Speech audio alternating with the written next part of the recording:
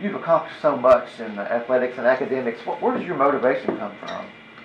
Um, probably mostly from my team and family, just to being part of the team and trying my hardest to play for them and to do my part to get the win or whatever our goal is at the time.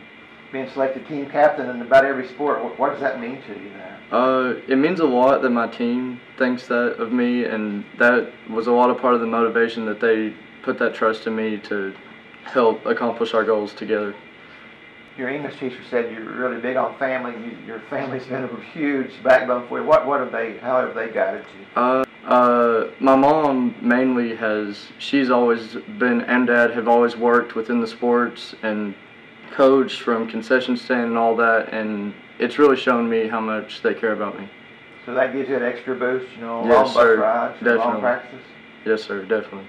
Are they every game? Yes, I can't even remember the last time they missed a game ever and other coaches say you're such a driven guy. How do you want to? So what's the next step for you? Uh, well, in sports, it's taught me how to taught me that drive and given me that, and I want to take that through college and to get through it and to accomplish what I want to in really my entire life.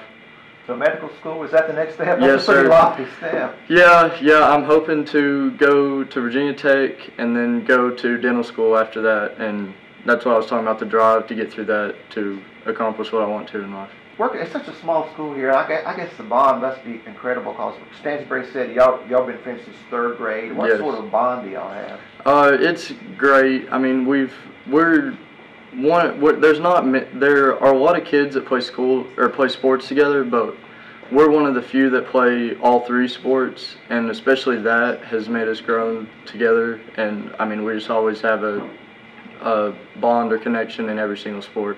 Have you played all three sports all from? Yes, sir. Ever since ever since we've been old enough to play, we've played all three together.